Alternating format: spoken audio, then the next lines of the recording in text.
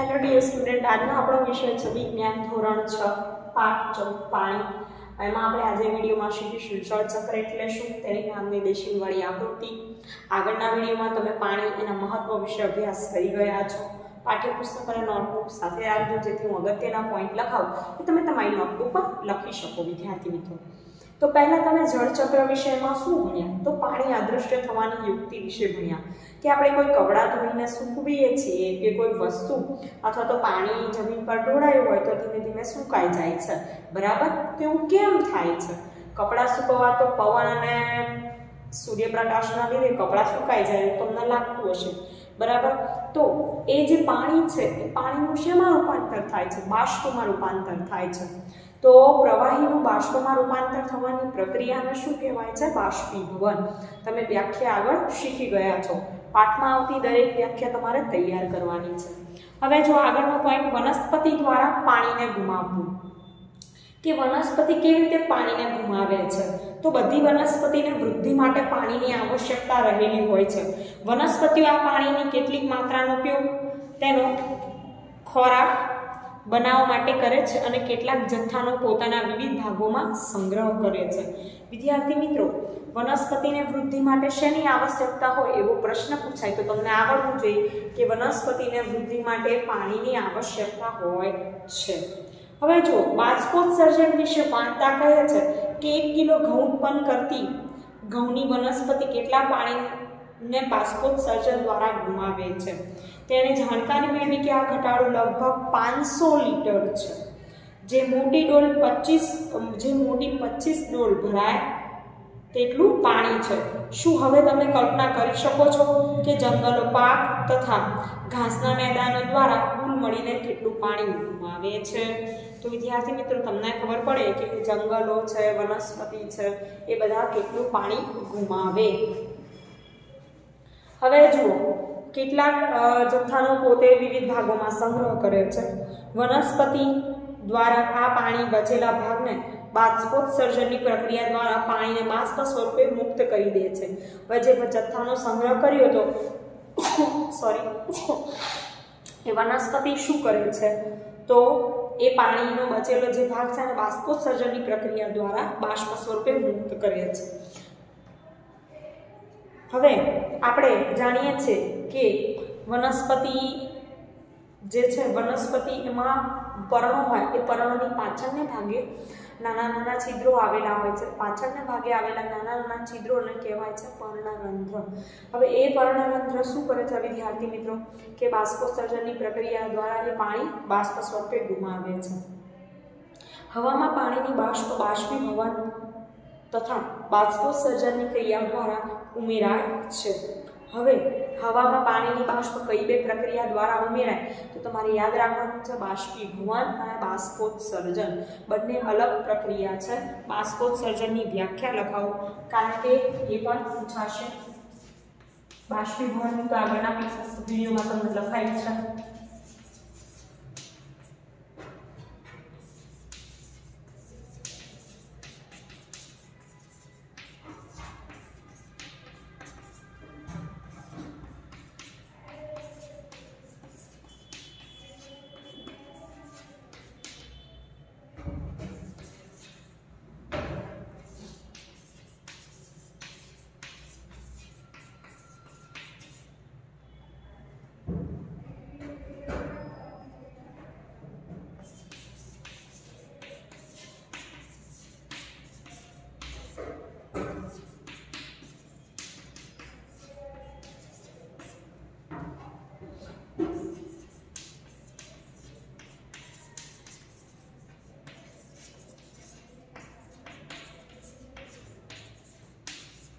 તે પ્રક્રિયાને વનસ્પતિના પર્ણો વાતાવરણમાં બાષ્પ સ્વરૂપે પાણી ગુમાવે છે.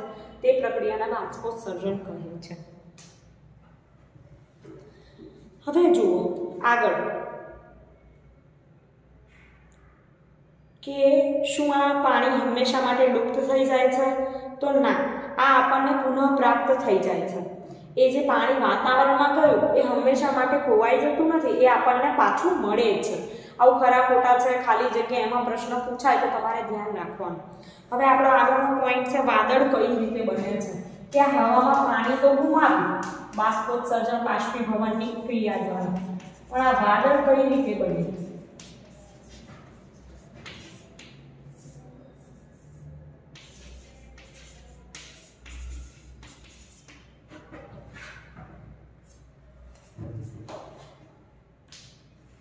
પ્રવૃત્તિ તણ પાણીથી ભરેલો ગ્લાસ લો. તેને બહારથી સૂકા કપડાથી સાફ કરો. તેમાં બરફ નાખો. એક કે બે મિનિટ રાહ જુઓ. ગ્લાસની બહારની સપાટી પર થતા પરિવર્તનોનું અવલોકન કરો. હવે અહીંયા કીધું છે કે પાણી ભરેલો ગ્લાસ લેવાનો એને બહારથી સૂકા કપડાથી સાફ કરી દેવાનો, વિદ્યાર્થી મિત્રો. એની અંદર બરફ નાખવાનો છે. હવે ગ્લાસની બહારની સપાટી પર આપણે જોઈશું તો તમે આ પ્રવૃત્તિ ઘરે કરજો. પાણીના નાના નાના નાના ટીપા બાજેલા જોવા મળે છે. તો આ પાણીના ટીપા ક્યાંથી આવે છે? બરફવાળા પાણીથી ભરેલા ગ્લાસની બહારની સપાટી બાહ્ય હવાને ઠંડી બનાવે છે. બહારની હવા હતી એ બહારની હવાને કેવી બનાવે? ઠંડી. અને એના દ્વારા હવામાં રહેલી પાણીની વરાળ ગ્લાસની બહાર આવે છે એ બહારની સપાટી પર સંઘનિત થઈ જાય છે. અને આ સંઘનન છે, એટલે કે ઘનીભવન, જે બાષ્પ છે, બાષ્પનું પાણીમાં રૂપાંતર થાય એ પ્રક્રિયાને ઘનીભવન કહેવાય એને સંઘનન પણ કહેવાય છે. હવે જુઓ, પહેલી શિયાળામાં સવારે ઘાસ ઉપર ઝાકળના બુંદો જોયા હતા. શું તમે પણ શિયાળાની ઋતુમાં સવારે પાણો તથા ધાતુની સપાટી, જેમ કે લોખંડની જાળી તથા દરવાજા પર આવા ઝાકળના ટીપા જોયા છે? શું આ પણ સંઘનનનું કારણ છે? શું તમે પણ ઉનાળાની સવારે આવું જોયું છે? તો વિદ્યાર્થી મિત્રો, તમે જોયું છે શિયાળાની સવારમાં ખાસ આવું જોવા મળે, ધુમ્મસ પણ જોવા મળે છે. એ ઉપરાંત આપણા સાધનો બહાર પડ્યા હોય, ઘરની બહાર, પછી વસ્તુ પડી હોય, એના પર નાના નાના પાણીના ટીપા બાજેલા જોવા મળે. તો એ આ જ પ્રક્રિયા છે ઘનીભવન પાણીને પૃથ્વીની સપાટી પર પાછું લાવવા માટે ઘનીભવનની ક્રિયા એક મહત્વપૂર્ણની ભૂમિકા ભજવે છે. હમણાં વાત કરી આગળ કે આ જે પાણી બાષ્પ સ્વરૂપે વાતાવરણમાં ગુમાવ્યું. એ પાણી પાછું કઈ પ્રક્રિયા સ્વરૂપે આવે છે? એવો પ્રશ્ન પૂછાય તો તમારે લખવાનું ઘનીભવન તો હું તમને ઘનીભવનની વ્યાખ્યા લખાવું છું. એ પણ તમે મારી સાથે લખજો.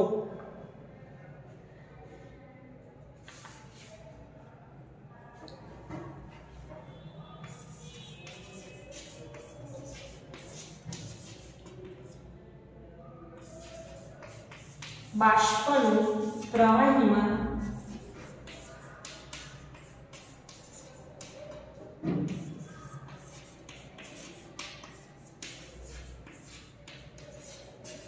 રૂપાંતર થવાની પ્રક્રિયાને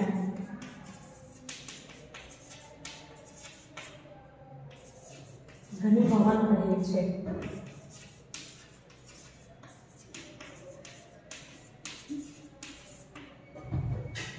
બાષ્પનું પ્રવાહીમાં રૂપાંતર થવાની પ્રક્રિયાને ઘનીભવન કહેવાય છે, વિદ્યાર્થી મિત્રો.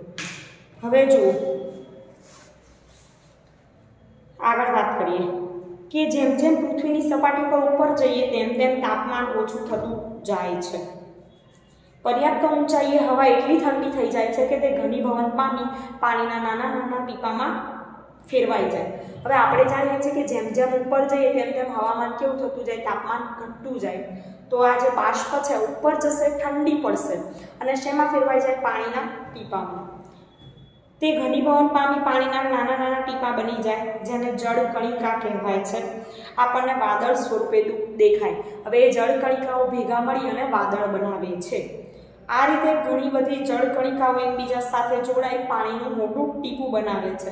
તેમાંથી કેટલાક પાણીના ટીપા વજનમાં એટલા ભારે હોય છે કે નીચે તરફ પડવા લાગે છે. વિદ્યાર્થી મિત્રો, એ જે જળ કણિકાઓ છે, ભેગા મળી શું બનાવે છે? વાદળ બનાવે અને એ વાદળમાં પાણીના ટીપા હોય છે, બરાબર? જળ કણિકાઓ એટલે.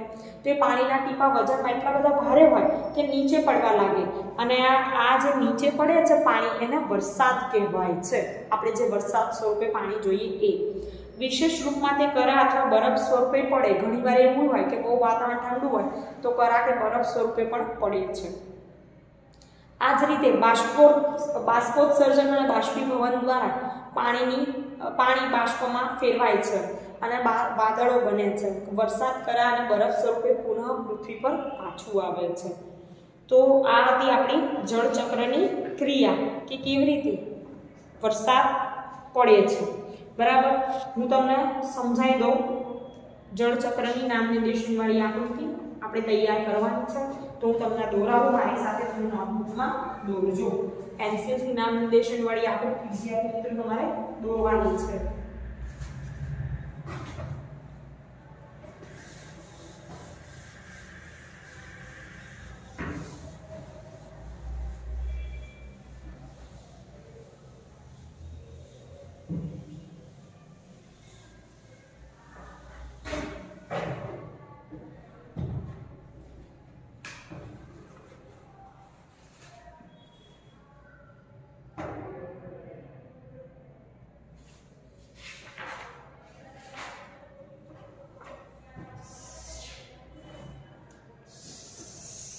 તમે પણ મારી સાથે દોરજો બધા.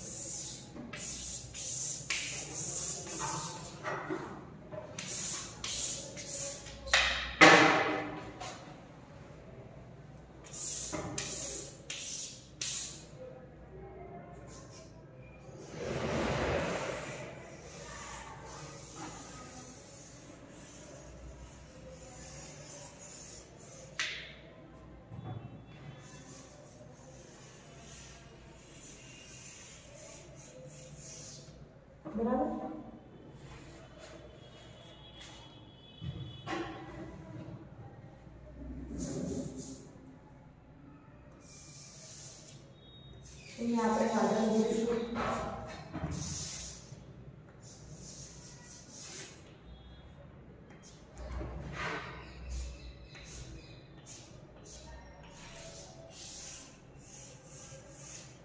વૃક્ષો બતાવવા ઈચ્છા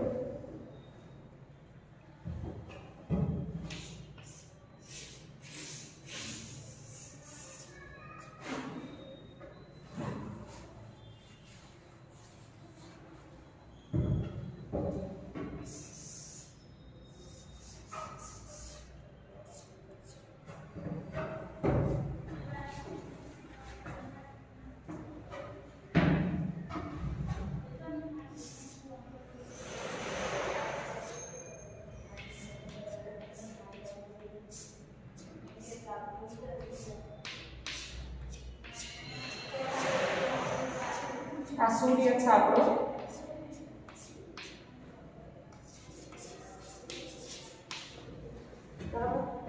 નીચે દરિયામાં પાણી બતાવવાનું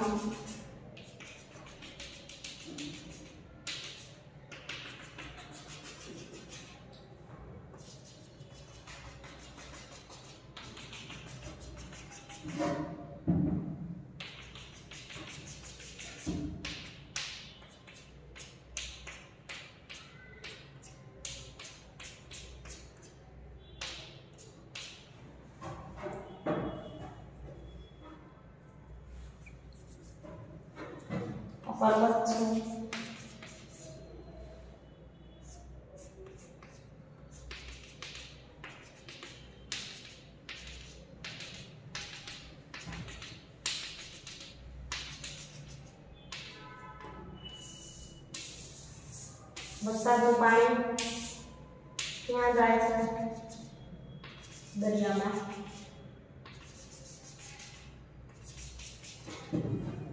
બરાબર?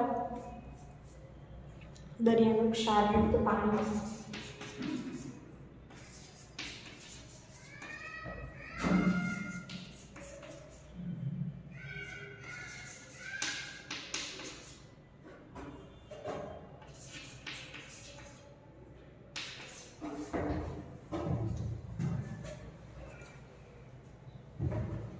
વનસ્પતિ.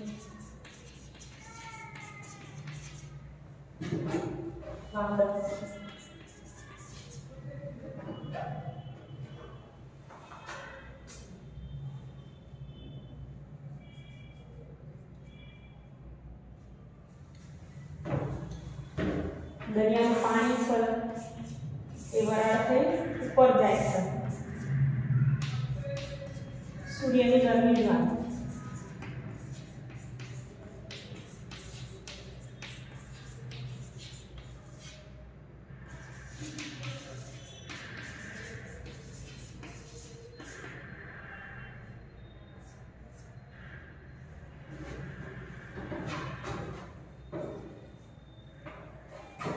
આ વરસાદ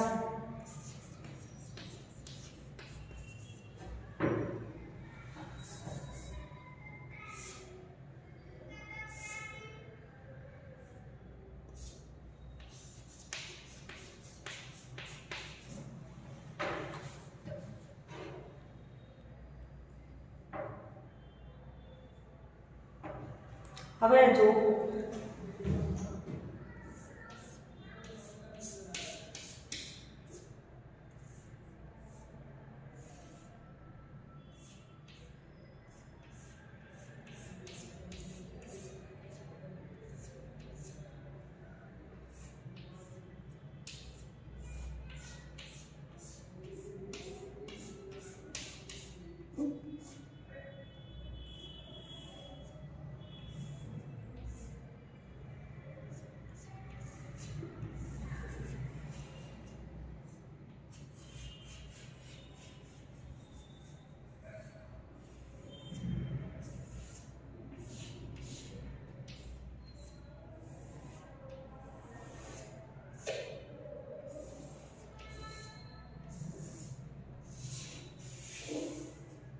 આપણું વૃક્ષ તો જે પર્વતો છે, વરસાદ આપણે જાણીએ કેવી રીતે જળચક્ર કામ કરે, તો દરિયાનું પાણી છે, વનસ્પતિમાંથી બાષ્પોત્સર્જનની ક્રિયા પણ થશે આમાંથી.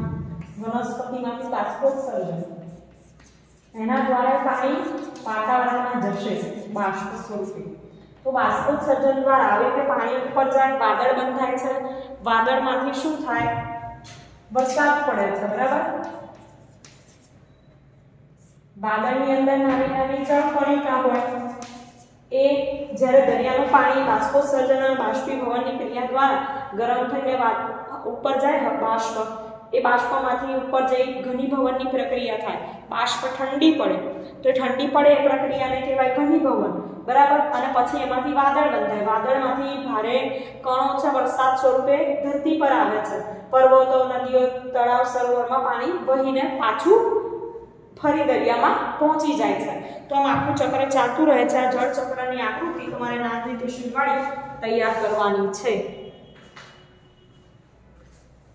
હવે જો આ પાણી મહાસાગર તરફ જાય છે વરસાદ તથા બરફ સ્વરૂપે પૃથ્વીના વિવિધ ભાગોમાં આવેલું પાણીનું શું થાય? તો બધી ભૂસપાટી મહાસાગર, મહાસાગરોની સપાટીથી ઊંચી છે. વરસાદ તથા બરફના સ્વરૂપે ભૂમિ પર પડેલ મોટા ભાગનું પાણી મહાસાગરોમાં પાછું ચાલ્યું જાય છે. તે વિવિધ રીતો દ્વારા થાય છે. પર્વતો પર રહેલો બરફ ઓગાળીને પાણી બને છે. આ પાણી પહાડો પરથી ઝરણા તથા નદીયા સ્વરૂપે નીચે આવે છે. કેટલું પાણી જે વરસાદ સ્વરૂપે ભૂમિ પર પડે છે તે પણ નદીઓ અને ઝરણા સ્વરૂપે વહી જાય છે. મોટાભાગની નદીઓ ભૂમિ પર લાંબુ અંતર કાપી અંતમાં મહાસાગરમાં ભળી જાય છે. કેટલીક નદીઓનું પાણી મહા સરોવરમાં વહી જાય. એટલે કે ઘણા ઝરણા સ્વરૂપે, પર્વતો પરથી બરફ સ્વરૂપે, એનું પાણી સ્વરૂપે બધું પાણી તળાવ, નદી, સરોવર, મહાસાગરમાં એકઠું થાય છે. વરસાદનું પાણી સરોવર તથા નળા તળાવને ભરી દે છે. વરસાદના પાણીનો કેટલોક ભાગ ભૂમિ દ્વારા શોષાય છે. હવે બધું પાણી તળાવ સરોવરમાં જાય નહીં. આપણે જાણીએ છીએ કે માટીવાળો વિસ્તાર હોય તો કેટલું પાણી પાણી ભૂમિમાં પણ જાય છે. માટીમાં વિલુપ્ત થઈ જાય છે. આ પાણીનો કેટલોક ભાગ બાષ્પીભવન અથવા બાષ્પોત્સર્જન દ્વારા પુનઃ વાતાવરણમાં ચાલ્યું જાય છે. બાકીનું પાણી ધીમે ધીમે ભૂમિમાં નીચેની તરફ ઉતરતું જાય અને આ પાણીમાંથી મોટા ભાગનું પાણી આપણને ભૂગર્ભ જળ સ્વરૂપે પ્રાપ્ત થાય છે. ભૂગર્ભ જળ એટલે શું? તો એ પાણી જે જમીનમાં ઉતરી જાય છે અને આપણે કૂવા, બોર દ્વારા એ પાણીને બહાર કાઢીએ, એ જે પાણી જમીનમાં એને ભૂગર્ભ જળ કહેવાય છે. કૂવાઓનું ભરણ ભૂમિજળ દ્વારા થાય છે. આ પ્રકારે કેટલાક સરોવરનો પાણીનો સ્ત્રોત ભૂગર્ભ જળ પણ છે. હેન્ડપંપ બોર કૂવા દ્વારા ખેંચાયેલ પાણી ભૂગર્ભ જળમાંથી જ આવે છે. જે જગ્યા ઉપર વધારે હેન્ડપંપ અથવા બોર કૂવા હોય તેવી જગ્યાએ ભૂગર્ભ જળ પ્રાપ્ત કરવા માટે વધારે ઊંડાઈ સુધી ખોદકામ કરવું પડે. હવે વધારે પ્રમાણમાં કૂવા બોર હોય તો સ્વાભાવિક છે પાણી એટલું એટલું બહાર આવે તો આપણે વધારે ને વધારે ઊંડું ખોદવું પડે તો આપણને પાણી મળે. વધારે પડતા ઉપયોગથી ભૂગર્ભમાં જળ વધારે પડતા ઉપયોગથી ભૂગર્ભ જળમાં થતો ઘટાડો એક ચિંતાનો વિષય છે. હવે વસ્તી વધારાના સાથે પાણીનો ઉપયોગ વધતો ગયો છે. હવે પાણીનો ઉપયોગ વધતો ગયો એટલા માટે મિત્રો શું થાય? કે ભૂગર્ભ જળમાં ઘટાડો થાય છે અને એ ઘટાડો થવો એક ચિંતાનો વિષય છે. પહેલી એક ચિંતા, પહેલી એક ચિંતાને તમારી સાથે રજૂ કરવા માંગે છે. એવા વિસ્તારો કે જ્યાં વનસ્પતિની સંખ્યા ઓછી છે અથવા બિલકુલ નથી તેવા વિસ્તારોમાં વરસાદનું પાણી ઝડપથી વહી જાય છે. ઘણા બધા વિસ્તાર એવા છે કે જ્યાં જમીન કોન્ક્રીટથી ઢંકાયેલી હોય, એવા જમીનમાં પાણીનું ત્રણ ઘણું ઓછું થાય, જેનાથી ભૂગર્ભ જળની ઉપલબ્ધતા ઓછી થાય છે. વરસાદમાં વહેતા પાણી સાથે જમીનનું ઉપરું પડ પણ શું થાય છે? તણાઈ જાય. હવે વરસાદ એટલું બધું પાણી વહે કે ઉપરનું જે પડ સારું હોય, એ પણ શું થાય? તણાઈ જાય. હવે આપણે જાણીએ કે જમીનની સપાટી પર રહેલ વરસાદરૂપી પાણી મહાસાગરમાં પાછું પહોંચી જાય છે. આ પ્રકારે પૃથ્વી ઉપરની સપાટી પરથી બાષ્પ સ્વરૂપે વાતાવરણમાં જાય. એટલે કે ફરી શું થાય? સૂર્ય દ્વારા પાણી ગરમ થશે. અને ગરમીથી પાણી શેમાં ફેરવાશે? બાષ્પમાં ફેરવાશે. ફરી આકાશમાં જશે, ઠંડુ પડશે ઘનીભવનની પ્રક્રિયા થાય વાદળ બંધાય, વાદળથી વરસાદ સ્વરૂપે ધરતી પર આપણે ફરી તળાવ, નળો સરોવર અને ઝરણા સ્વરૂપે ક્યાં પહોંચે? મહાસાગરમાં. ફરીથી વાત કરીએ કે પાણી વરસાદ કરા તથા બરફના સ્વરૂપે પુનઃ આવે છે અને અંતમાં મહાસાગરમાં પહોંચે. પાણીના આ પ્રકારના ચક્રને જળ ચક્ર કહેવાય છે. સમુદ્ર તથા જમીનની વચ્ચે જળ ચક્ર નિરંતર પ્રક્રિયા અને જમીન પર પાણીની જરૂરિયાતને શું કરે છે? જાળવી રાખે છે. વિદ્યાર્થી મિત્રો, કે જળ ચક્રની પ્રક્રિયા શું છે? તો જે જમીન પરનું પાણી છે, એ ફરીથી ને ફરીથી પાછું જમીનમાં આવે છે. પૃથ્વી પર આવી જાય. આખું ચક્ર ચાલતું રહે છે અને એ પ્રક્રિયાને કહેવાય જળ ચક્ર. ઉનાળા દરમિયાન સૂર્ય આપણે જાણીએ કે ગરમી ખૂબ વધારે હોય ઉનાળા દરમિયાન. ત્યારે પાણીનું વધારે ને વધારે શું થાય છે? બાષ્પીભવન અને બાષ્પોત્સર્જનની પ્રક્રિયા વધારે ને વધારે થતી હોય છે. અને ચોમાસામાં આપણે જાણીએ કે વરસાદ સ્વરૂપે પાણી પૃથ્વી પર પાછું આવે. આપણે વરસાદ છે એ પાણીનો આપણો મુખ્ય સ્ત્રોત છે. આપણને પાણી એમાંથી મળે. અને આપણે જાણીએ કે નદી તળાવ સરોવરમાં ડેમ આપણે બંધ બનાવીએ છીએ. એના કારણે શું થાય કે પાણીનો સંગ્રહ થાય. અને બીજી ઋતુઓ જ્યાં આપણને જે ઋતુમાં પાણી નથી મળતું, એ ઋતુમાં આપણે આ પાણીનો ઉપયોગ કરી શકીએ છીએ.